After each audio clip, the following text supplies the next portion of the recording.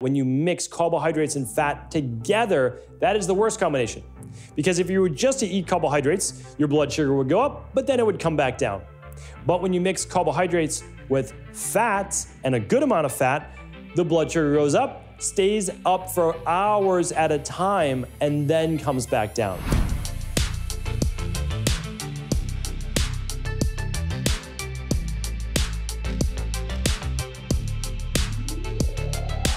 Welcome back, everyone. We're here today with episode 2630 of the Cabral Concept. Today, we're going to be going over a follow up to yesterday's show, and that is the three real reasons. So, regardless of what you may hear in the media or even your doctor, the three real reasons for insulin resistance and type 2 diabetes. Now, this is, as I said, a follow up to yesterday's show because I know and I knew that once I finished yesterday's show of the hidden signs of high blood sugar, going through the top 10 I had shared before, and then more seven of the hidden signs, whether they be the skin tags or the skin darkening at the folds, uh, plus the others that I cited, you may want to know then what are the real reasons then why people get high blood sugar, type 2 diabetes, insulin resistance in the first place. So we're going to go over that on today's show here today. I'm going to link up the three reasons. I'm going to give you uh, one of the citations from the National, National Institute of Health and the co combined effort, co effort from the National Institute of Diabetes and Digestive and Kidney Diseases. Uh, but before I give you the specific reasons, I want to share with you specifically just a recap of why this is so important that we need to be talking about this on hopefully a near weekly basis so that whether it's you, a loved one, or if you're a practitioner, you're able to help someone with this issue because it is reversible. And we do know now that there are really only four main reasons why we die at a young age, really like below the age of 100. This is the truth. And the first one's cardiovascular. First and foremost, one out of two people minimum, right? One out of two people, or if they die young, they're going to die of a cardiovascular issue. The second is high blood pressure and stroke related, also a vascular issue, right? For cardiovascular. The third one is type 2 diabetes. So we move from one out of two to one out of three now, right? So that's a lot of people, 33%, a third of people, but also type 2 diabetes. And the reason why I wanted to do today's show in insulin resistance is not just about, okay, early mortality not everybody's focused on that. I get it. But also, it's while you're alive. You have circulatory issues, you have vision issues, you have issues with gout, you have issues with hair loss, you've got issues with all sorts of different things. Just kidney issues, right? That's why it's the diabetes and digestive and kidney disease, right? Um, effort that they're talking about. Because for the most part, you are not going to have kidney issues unless there's a congenital issue, unless you have a circulatory di- diabetes based uh, disease. Like that's the truth. And I want to be careful using the word disease. It is a dis-ease of the body, but for sure it's able to be reversed, right? Like 100% it is. So I just want to make sure that we stay focused on that. I am not trying to spread any type of uh, fear or anything like that, just the reverse. I'm sharing with you that this is what one out of three people have right now. It's spreading throughout the world because of some of the things that I'll be talking about in today's uh, specific podcast. But number two is that we can do something about it. So we can improve our health span. That's the number of years during our lifetime that we stay healthy. Improve our health span, taking it from 74 years old to 77 years old, all the way up to 100 and then 100 plus, right? Like that's the goal. And so, what I want to share with you now are the three real reasons for insulin resistance and type 2 diabetes. And if you don't know what type 2 diabetes is, it's basically a hemoglobin A1C. So when you go to your doctor's office, you run your blood work and you see your HbA1c, it should be below a 5.7, ideally a 5.4 or maybe below. But if from uh, 5.7 up to 6.4, it's basically pre-diabetes. And then over that is you're diagnosed with uh, what used to be adult onset diabetes. Now, children, teenagers can have it, and it is type 2 diabetes, okay? Far greater likelihood of dementia or Alzheimer's if you have diabetes, and again, so many other issues as well. So, the other part to that is your fasting glucose could be above 126 on essentially a daily basis when you take your glucose in the morning, and that means you're moving in that direction. Now, having said that, I do have to share with you that I am not here to provide you with any medical diagnosis, medical treatment plans, medical cures, or medical advice of any kind. If you want that, you will have to see your PCP but good luck reversing chronic disease with your PCP. It is not what conventional medicine does. However, there are millions of practitioners, maybe not millions, but there are certainly a good 100,000 practitioners around the world, integrative health practitioners, naturopathic doctors, many people in the field, a lot of great chiropractors, a lot of great people practicing natural medicine. And they can help you to work on reversing these issues. I also highly recommend you read the book, The Rain Barrel Effect.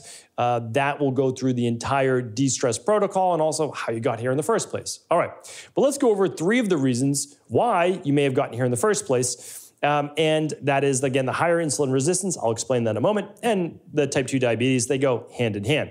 The first one, we just have to get this out of the way food choices, right? So, of course, everyone is going to go right away. Why do you have insulin resistance? Why do you have two, type 2 diabetes? Okay, well, most likely, nine out of 10 people are going to be in an overweight to obese category.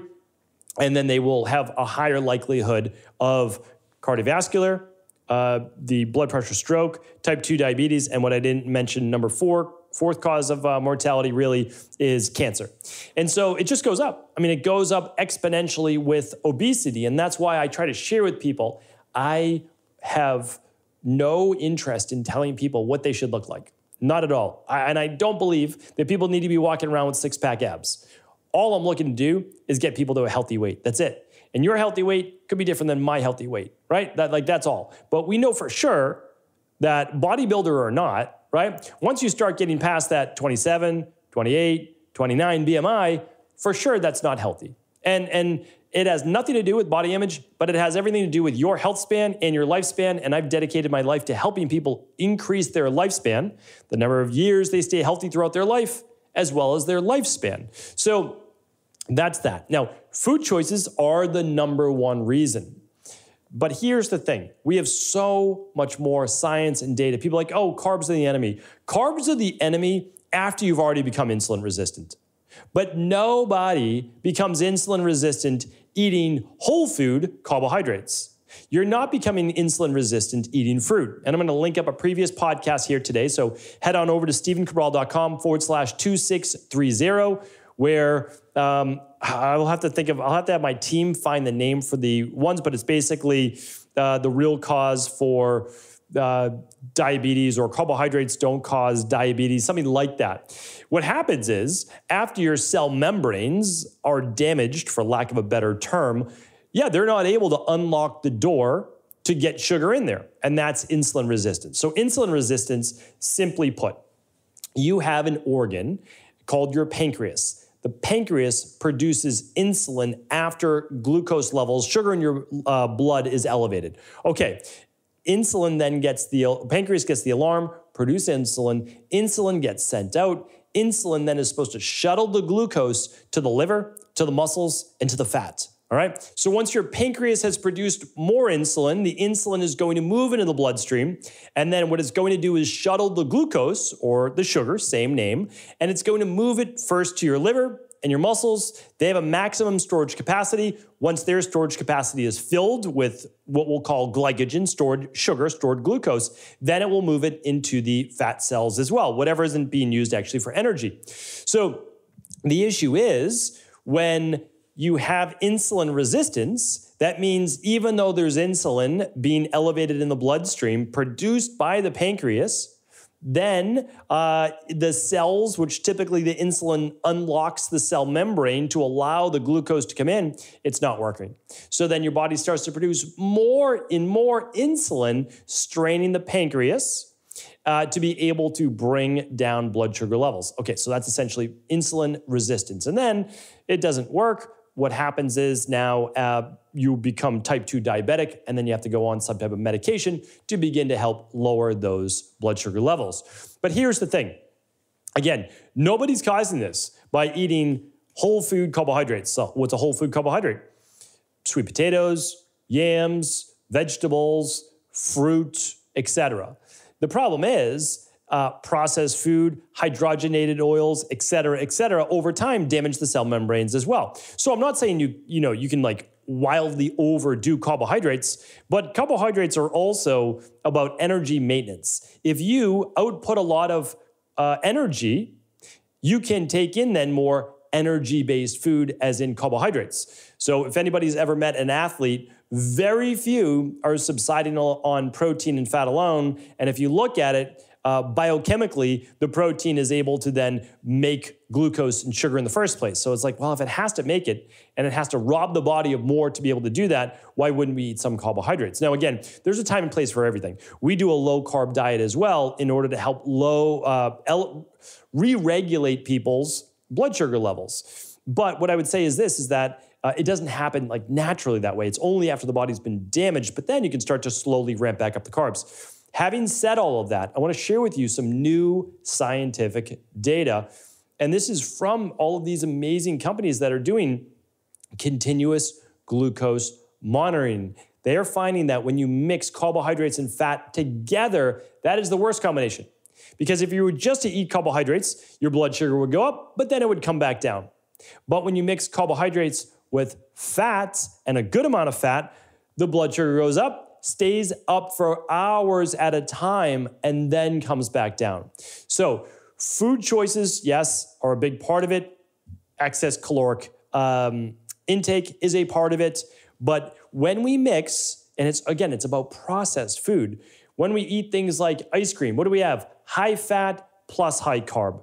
When we eat fried foods, like let's say French fries, what do we have? High carbs plus high fat those are the most damaging for the body. All right. So I just wanted to share that with you. So that's number one. Food choices, no doubt about it. But let's get now a little bit more technical. Let, us get into a little bit more, probably, of why you might have tuned into the show. The second one is this it is excess weight. Now, before, before you tune out, stay with me for one moment. It's not just the excess weight. We've talked about this on the Cabral concept, and I'm going to link up uh, a little bit more detail on that from previous shows as well. But I want to read you directly from the NIH, and then I'll, I'll help to make sense of this as well. So it says experts believe obesity, especially too much fat in the abdomen and around the organs called visceral fat, is a main cause of insulin resistance. A waist measurement of 40 inches or more for men and 35 inches or more for women is linked to insulin resistance. This is true even if your body mass index, your BMI, falls within the normal range. So, that to me is amazing. And why I wanted to share that with you is because, and the, the, article goes on, and I'll share that probably just one more, two more sentences in a moment, is that you can be at a healthy BMI. I've worked with clients, they've come in and they're at a healthy BMI. They might be at 24, 20, like 24 and a half. But the problem is, for them, and like 40 inches is a misnomer. Like, I want to state that 40 inches for men, okay, well, what if you're 6'4? Is that the same as if you're 5'6 as a male? No, no, absolutely not. It, it like height and weight and all of this do play into it. It could be anywhere from 36 inches to 40 plus inches for men.